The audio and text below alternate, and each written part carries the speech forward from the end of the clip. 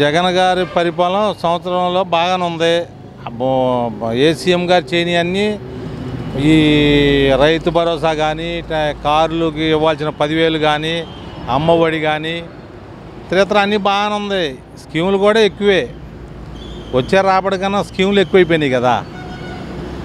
రాబడి బాగానే ఉంది తప్పులేదు.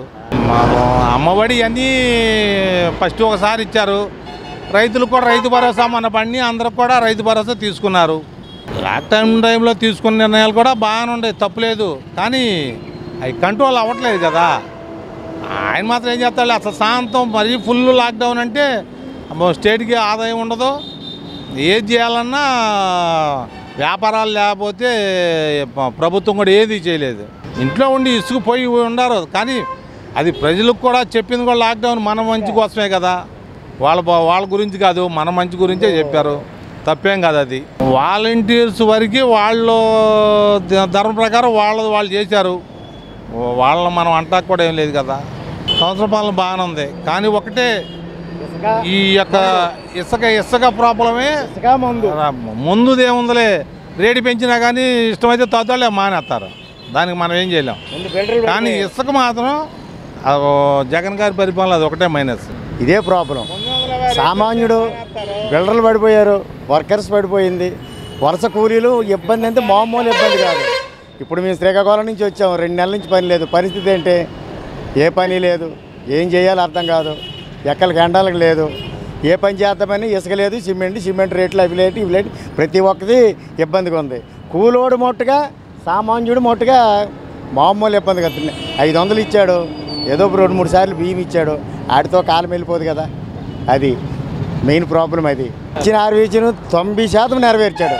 దానికి ఓకే దానిలో కాదని లేదు.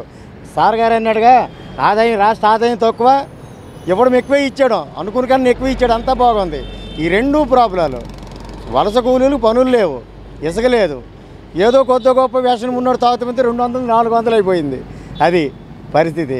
మందు ఫ్రీగా వదిలి మనలేదు కాకపోతే ఏంటి ఏదో వసూలుబాటు వారంటీలు మటుగా వాళ్ళు సక్సెస్ఫుల్గా చేస్తారండి వాళ్ళు వృత్తి మటుగా బ్రహ్మాండం ప్రతి ఒక్క విషయంలో ఇంటికి వచ్చి తలుపు తట్టి అడుగుతూనే ఉన్నారు. ప్రతిదీ ఇది వచ్చిందా అది వచ్చిందా అని అన్ని విధాలుగా అడుగుతున్నారు.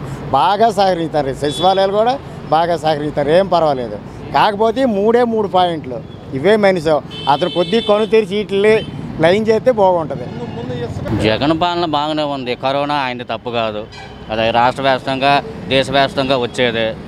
కాబట్టి కాకపోతే ఏంటి కూలోళ్ళు ఇబ్బంది పడుతున్నాము. మా ఇబ్బందులు తీరిస్తే చాలా ఆయన. మెటీరియల్ వదిలితే పని చేసుకుంటాం ఎవరి పని వాళ్ళు చేసుకొని బతుక్కుంటాము. మేము ఎక్కడెక్కడ ఉండో వస్తాం బతకడానికి. ఇక్కడ ఇంటద్దులు కట్టుకోలేక కరెంటు బిల్లు కట్టుకోలేక పని చేద్దామంటే ఇసుక సిమెంటు లేక ఎంతో ఇబ్బంది పడుతున్నాం. ఆ, హామీలు నెరవేరుస్తున్నాడు పర్వాలేదు. ఆ విషయంలో ఆయనకు అనుకోలేము. కాకపోతే మా పొట్టకూట ఏంటంటే ఈ వస్తువులు లేక పనులు లేవు. అందులో ఈ లాక్డౌను లాక్డౌన్ ఇంకా పొడిగిస్తూనే ఉన్నారు. అయితే మా కోసం అనుకోండి పొడిగించడం అనేది. కానీ మాకు పనులు చేసుకోవడానికి అవకాశం ఇస్తే చాలు. బాగా పనిచేశారు పకడ్బందీగా చేశారు. ఆ విషయంలో వాళ్ళని అనలేము చెప్పాలంటే. ఆ పందార్ కార్డు ఎక్కడైనా ఇస్తారంటారు. వీళ్ళు పందార్ కార్డుకి మాది డౌన్లో కార్డు ఉంటే ఇక్కడేమో కందిపప్పు ఇవ్వట్లేదు పందారు ఇవ్వట్లేదు అట్ట చేస్తున్నారు. ఎక్కడైనా తీసుకొచ్చిన సెంట్రల్ గవర్నమెంట్ చెబుతుంది జగన్ చెప్పారంటారు వీళ్ళేమో రామరపాడు కోటాగే మాకు వచ్చినాయి మిగిలినవి రాలేదు అయిపోయినాయి వాళ్ళకే ఇవ్వాలంటాడు. శనగలు అయితే ఇస్తున్నాడు బియ్యం అయితే ఇస్తున్నాడు కందిపప్పు పంచదార ఇవ్వట్లేదు. మీరు రామరపాటికి రా బయట కార్లకు రావట్లేదు మా వరకే వచ్చినాయి అంటాడు అదేమన్నా అంటే. వాలంటీర్లు కూడా అదే చెబుతున్నారు వాళ్ళు కంప్లైంట్ ఇస్తే. మరి మీ బయట వాళ్ళకి రావట్లేదండి ఇక్కడ వాళ్ళ వరకు వస్తున్నాయి అంటున్నాను ఇక్కడ వాళ్ళకి ఇవ్వాలి కదా వాళ్ళు ఒప్పుకోరు కదా ఇదేమిటో పరిష్కారం చేయాలి. మా ఇంటికి ఒకటి పెట్టాము మా వాడి పేరు మీద. ఆ లోడ్ వచ్చేట్టుగా చూడాలి. నెరవేర్చారంటే కొన్ని నెరవేర్చినారు కొన్ని నెరవేర్చినట్టు లేరు ఎట్టైనా అసలు బడుగు వర్గం ఎవరో అసలు ఉన్న వాళ్ళు ఎవరో లేని వాళ్ళు ఎవరో మేము బ్రాహ్మణం. బడుగు వర్గం ఎవరో ఏమిటో వీళ్ళు తింటున్నారా తింటలేదా అనే విషయం పట్టించుకోవటం లేదు పాలన అంటే మామూలుగా చిన్న చిన్న మామూలుగా చే చేవృత్తులు చేసుకునే వాళ్ళకి వాళ్ళకి పర్వాలేదు. ఇప్పుడు పనికి పర్వాలేదు. లోకల కాడ బాగా చేయగలిగినంత వరకు చేస్తున్నాడు.